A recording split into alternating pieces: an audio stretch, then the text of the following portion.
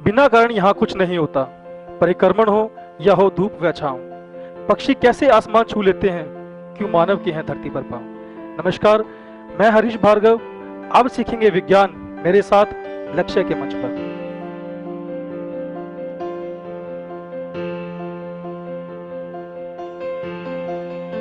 नमस्कार, तेज हरियाणा से गुरविंदर पन्नू, एक बड़ी अपडेट के साथ हम शुरुआत करेंगे, जो कि उप तहसील गोरीवाला से है। जहाँ पर दिन दिहाड़े बेखौफ तरीके से बाइक सवार बदमाशों ने एक किसान से पचास हज़ार रुपए की छीना छपटी को अंजाम दिया है। दरअसल, उप तहसील गोरीवाला के पीएनबी बैंक से किसान अपने खाते से पचास हज़ार रुपए की नकदी लेकर इसी स्टेट हाईवे बत्तीस से, यहाँ से मुन्नावाली का लिंक रोड शुरू होता है। स्टेट हाईवे बत्तीस से हम आपको दिखाएँगे। इस रोड पर किसान यहाँ से बाइक लेकर अपने गाँव की तरफ़ सवार होता है। यहाँ से करीब दो से ढाई किलोमीटर का रास्ता तय करके उसे अपने घर पहुँचना था। लेकिन यहाँ से एक किलोमीटर आगे जाकर बदमाशों ने किसान जो कि बाइक पर था, उसका रास्ता रोककर उसकी आँखों में मिर्ची डालकर उसके दाहिने तरफ़ जेब में रखे पचास हज़ार रुपए की रकम को छीनकर वहाँ से फरार हो गए। अब पुलिस इस पूरे मामले की गहनता से जाँच में जुटी है, जहाँ पर घटना अब से कुछ ही देर पहले की है, जहाँ पर उप तहसील गोरीवाला पुलिस के लिए पहले से ही दो ऐसी वारदातें हैं जो अपने आप में पहली बनी है। पुलिस उन्हें नहीं सुलझा पाई, अब तीसरी वारदात फिर से घटित हुई है।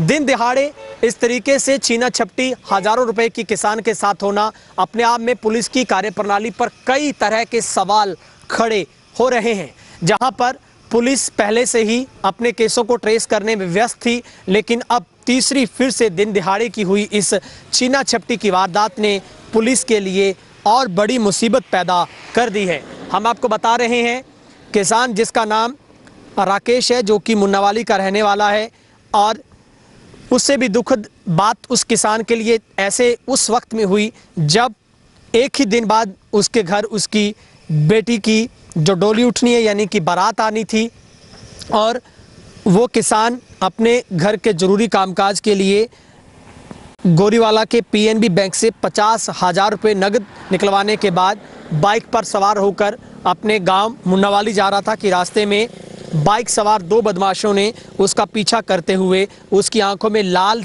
मिर्ची का पाउडर डालकर उससे दिन दिहाड़े पचास हज़ार रुपये की, जो छीना छपटी की और मौके से फरार हो गए। इतना ही नहीं, जब किसान बैंक में पहुँचा तो सूत्र ये बता रहे हैं कि उक्त लोगों ने बैंक में भी कई मिनटों तक रुककर उसकी रैकी की। बैंक के अंदर तक दाखिल हुए, गार्ड के साथ बातचीत करते रहे। ऐसे में सवाल उठते हैं कि आखिर बैंक में, जहाँ पर सबसे बड़ी सुरक्षा होनी चाहिए, अगर वहीं से वारदात को अंजाम देने का कार्यक्रम शुरू होगा तो सवाल अपने आप खड़े होंगे। ऐसे में बैंक कर्मियों और वहाँ पर तैनात सुरक्षा गार्ड को भी ये चाहिए कि उसकी आँखों में एक डाउट हमेशा रहना चाहिए। ऐसे लोगों को बैंक के बाहर खड़े होने की अनुमति ही क्यों दी जाती है? ऐसे लोगों की इतनी बड़ी पहुँच कैसे होती है कि वो आम आदमी की रैकी के लिए बैंक के अंदर तक दाखिल हो जाते हैं? ये तमाम जो रिपोर्ट्स हैं, अभी भी गहनता से विचार की जानी चाहिए। इसके ऊपर गंभीर सवाल हैं, वो बनते हैं जो हम उठा रहे हैं।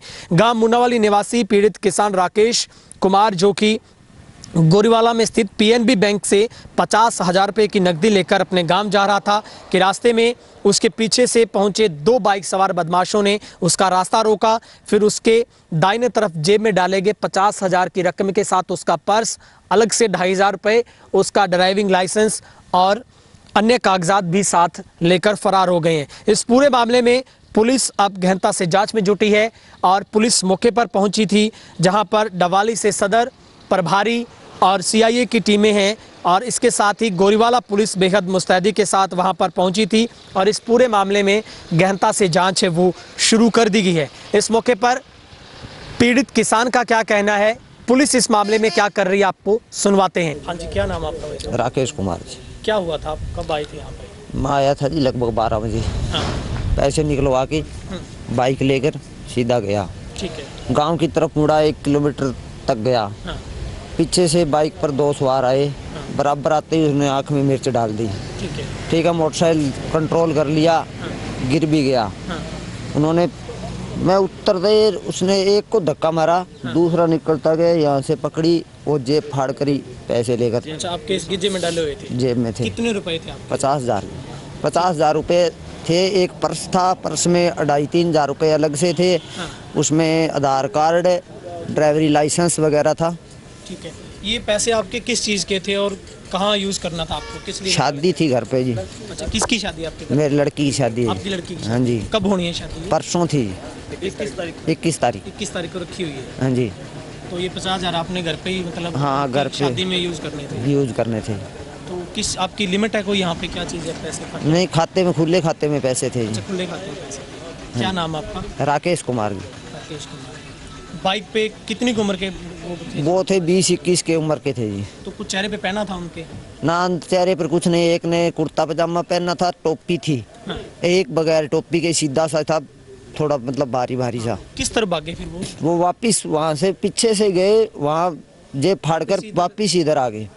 स्टेट हाईवे की तरफ़ हाँ स्ट्रेट हाईवे की तरफ़। बाइक नंबर कुछ नहीं पहचान पाया? मेरे तो आँखों में मिर्च डल गई थी ये देखो सारी मिर्च लगी है। तो आपको लगता है वो उन्होंने पहले यहाँ पे भी रख किया आपके पीछा किया यहाँ पे आप पीछा किया है यहाँ देखा है यहाँ वो काफ़ी टाइम से घूम रहे थे मेरे पीछे भी बाइक निकली है कैमरे में। कैमरे में ही देखा ही है। फुटट कर गए हैं मैं मोट बाइक लेकर निकला हूँ पीछे मोटरसाइकिल लेकर दोनों निकले हैं यहाँ से। धन्यवाद। अभी आए हैं इसके बारे में पूछताछ कर रहे हैं कि किससे पैसे लेके गया कौन लेके गया अभी इन्वेस्टिगेशन चल रही है अभी अभी आए हैं। आपने सर सीसीटीवी फुटेज भी देखी हाँ। नहीं, अभी थोड़ा देख रहे हैं, देखने के बाद ही पता चल पाएगा कैसा क्या मामला है। तो अब ऐसे में देखना होगा, पुलिस इस वारदात को सुलझाने में कितना वक्त लगाएगी। हालाँकि पुलिस की तरफ़ से ये आश्वासन किसान को दिया गया है कि पुलिस टीमें इस मामले में गहनता से जाँच में जुटी है। बैंक से सीसीटीवी जो फुटेज है, वो पुलिस ने हासिल की है। वहीं पर आसपास के लोगों से भी पुलिस संवाद कर रही है कि आखिर वो लोग किसी को शक के आधार पर कहीं दिखे हों, पुलिस की तरफ़ से यह भी एडवाइजरी जारी की गई है कि अगर किसी को ऐसे मामले में कोई भी ऐसी सूचना है तो वो पुलिस को ज़रूर सूचित करे। लेकिन निश्चित तौर पर अब पुलिस के सामने कई बड़े सवाल हैं जिनके ऊपर पुलिस को अब उस एंड तक पहुँचना होगा ताकि उस पीड़ित किसान को भी न्याय मिल सके। बड़े सवाल इसलिए उठ रहे हैं कि दिन दिहाड़े पुलिस चौकी से कुछ ही मीटर की दूरी पर यह बैंक रह जाता है। वहीं पर खड़े होकर वो बदमाश रैकी करते हैं। उसके बाद करीब दो से ढाई किलोमीटर का रास्ता किसान के पीछे वो बाइक से तय करते हैं और वहीं पर बीच रास्ता बाइक लगाकर वो उसका रास्ता रोकते हैं। फिर उसकी आँखों में मिर्ची पाउडर डालकर अटैक होता है और उसके जेब में रखे जो पचास हज़ार की रकम है, वो वहाँ से छीनी जाती उसके बाद वापस जिस तरफ़ से वो स्टेट हाईवे बत्तीस की तरफ़ से आए थे, उसी तरफ़ वहाँ से वो फरार हो जाते हैं। फ़िलहाल अब पुलिस की टीमें इस पूरे मामले में जुटी है। अब देखना होगा पुलिस इस छीना छपटी की गुत्थी को कितने समय में सुलझा पाती है? ताकि आमजन में पुलिस के प्रति एक जो संवेदनाएँ हैं, एक जो भरोसा है, वो बना रह सके। उप तहसील गोरीवाला से सहयोगी हेमराज बेट के साथ गुरविंदर पन्नू, तेज हरियाणा।